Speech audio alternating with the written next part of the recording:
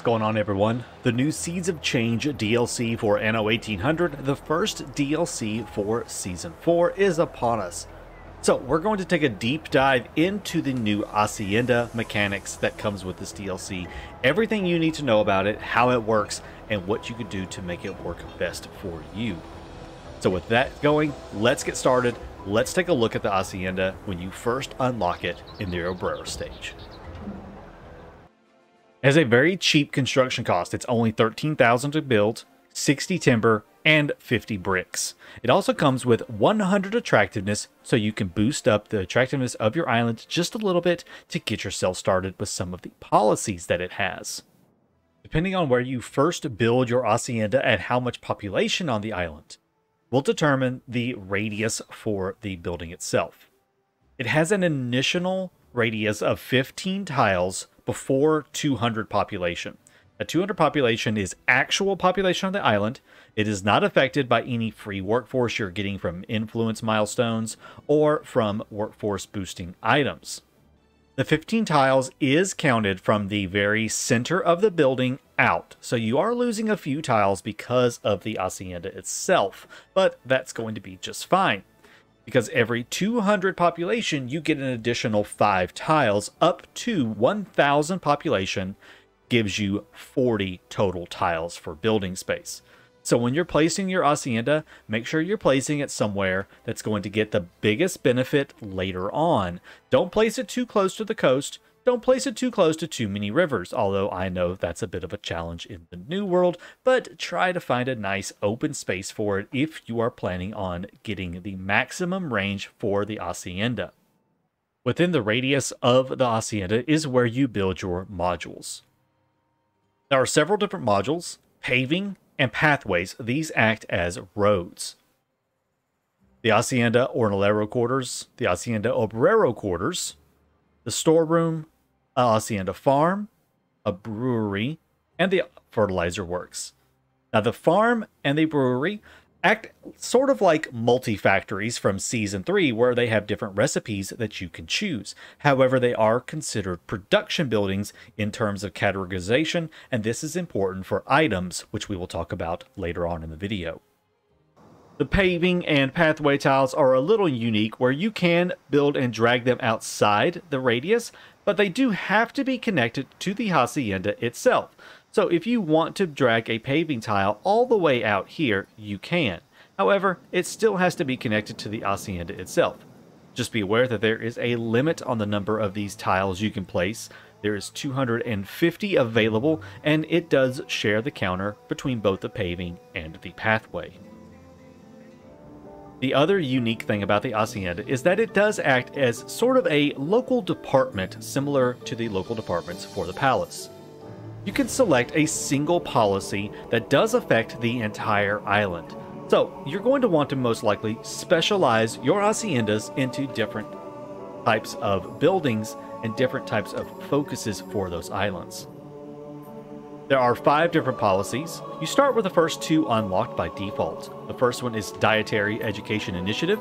This decreases the need for fried plantains and tortillas by 30% for all New World residences. This includes both the standard 3x3s and the special 4x4 quarters.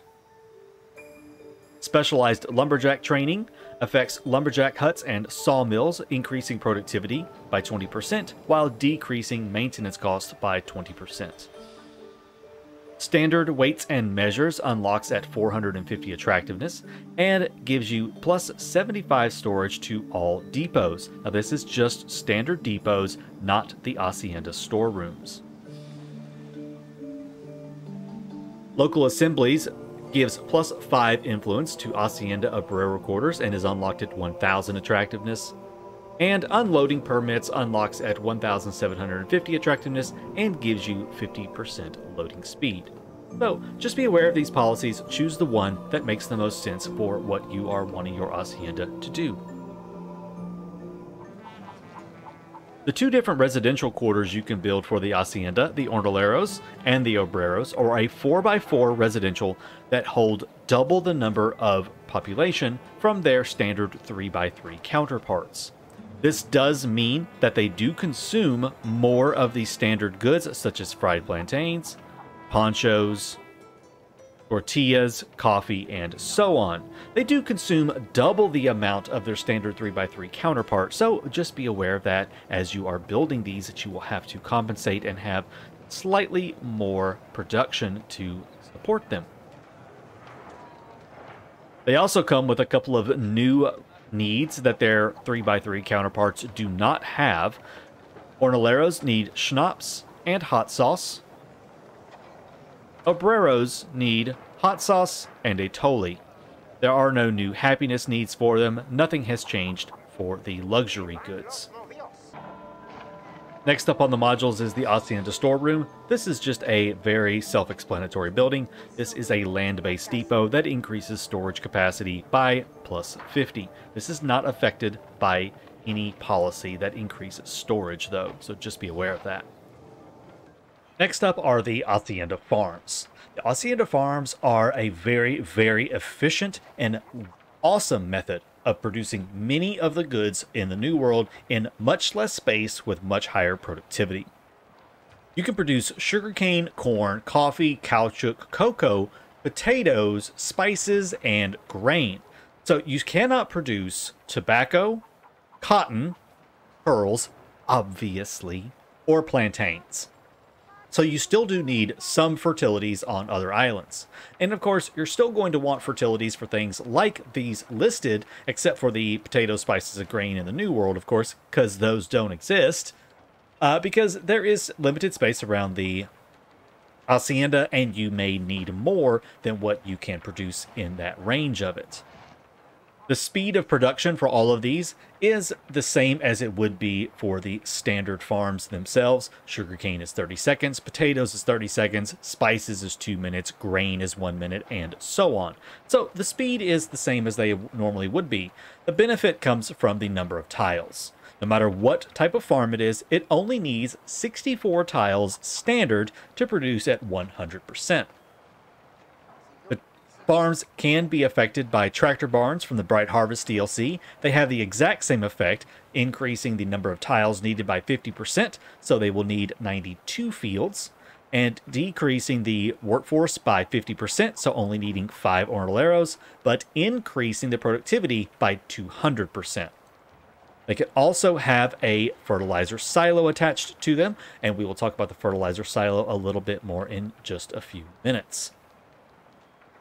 Next up, we have the Hacienda Brewery. Now, this is like a multi-factory from Season 3 in that it can produce multiple types of recipes.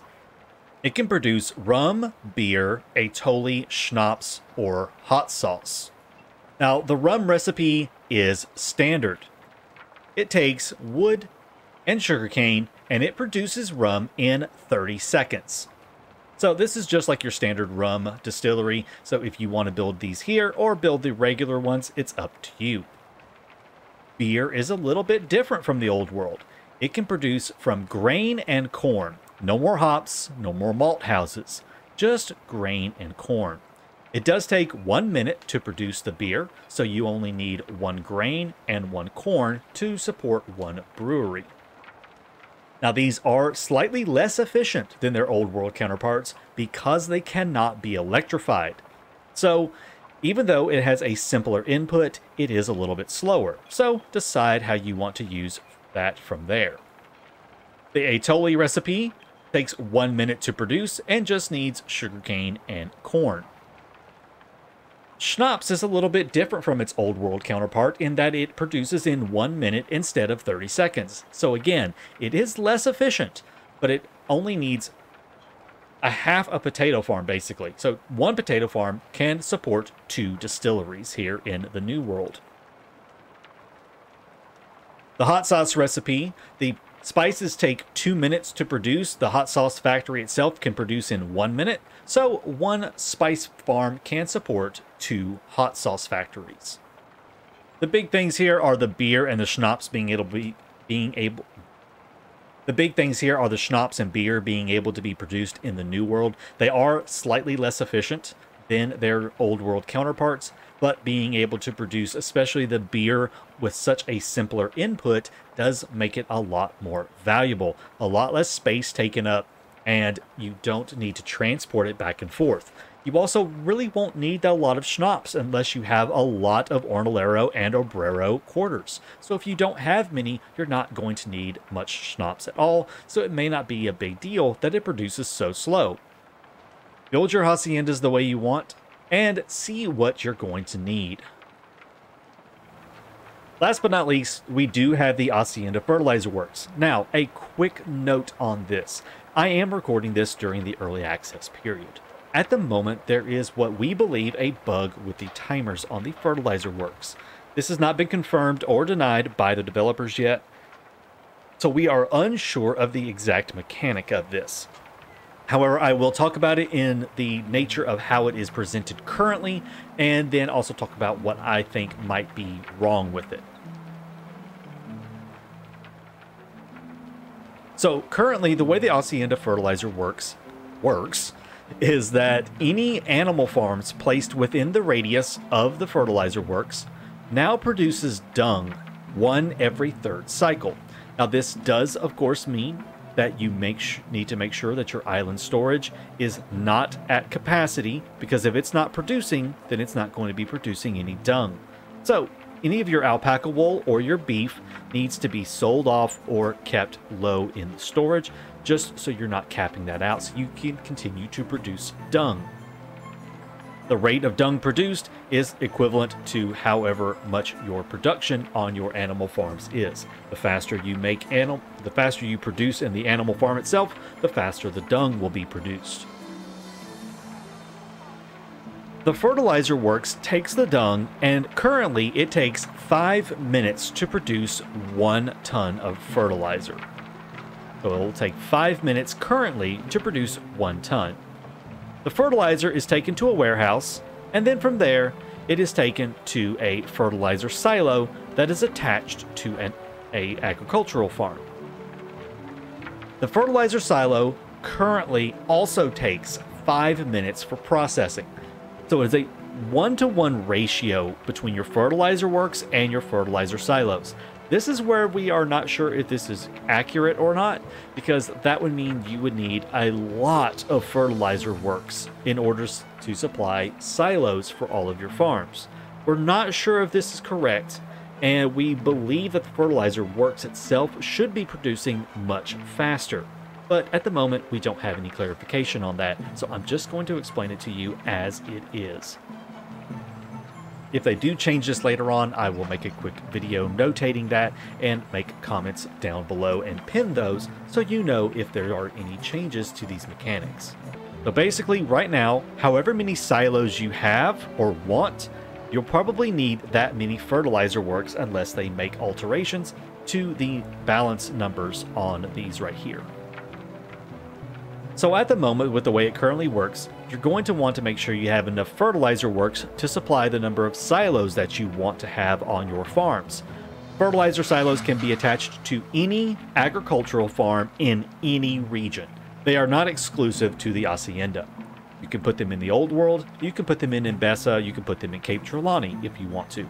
Any region that has agricultural farms can have the fertilizer silos. All you have to do is transport those goods to those regions on a trade ship.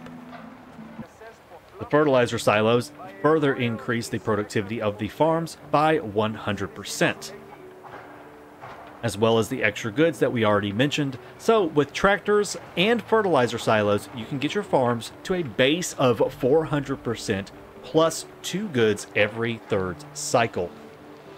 That makes the combination of Bright Harvest and Seeds of Change really, really powerful for your farms and your productivity baseline before items are added. The last thing to know about the Hacienda itself is that it does act as a warehouse for all of this production that we have been talking about. The breweries, the farms, the fertilizer works, and anything else that is within range of it. This does act as a warehouse. Now, unfortunately, we cannot see the actual warehouse UI right here. It is uh, not available to us. However, we do know that the Hacienda has four loading ramps. So it does have the four loading ramps, which is not much. So if you have a lot of production around it, you're going to need more warehouses set off into different parts of your uh, production chains in order to facilitate more loading ramps, because this will back up on you. So just be sure to keep an eye on your Hacienda. If you start seeing too many carts backed up right there, then go ahead and place down some more warehouses and upgrade those to increase the number of loading ramps that you have available for your production buildings. How you go about setting up your haciendas is going to be completely up to you and your playstyle. There is no one right or wrong way to do an hacienda. What you see right here in front of you is a mixed use one. I have a mixture of homes, production, and different things mixed into it right there that I am using for this island and other islands. If you don't want to do it this way and you want to have a pure agricultural hacienda with nothing but farms, you can certainly do that as well. The hacienda is probably going to be a little more useful come the Empire of the Skies DLC when we know that we're getting some sort of a commuter pier via airships and you might be able to make an hacienda full of residentials, nothing but jornaleros or obreros, and transport that population to other islands via a commuter airship.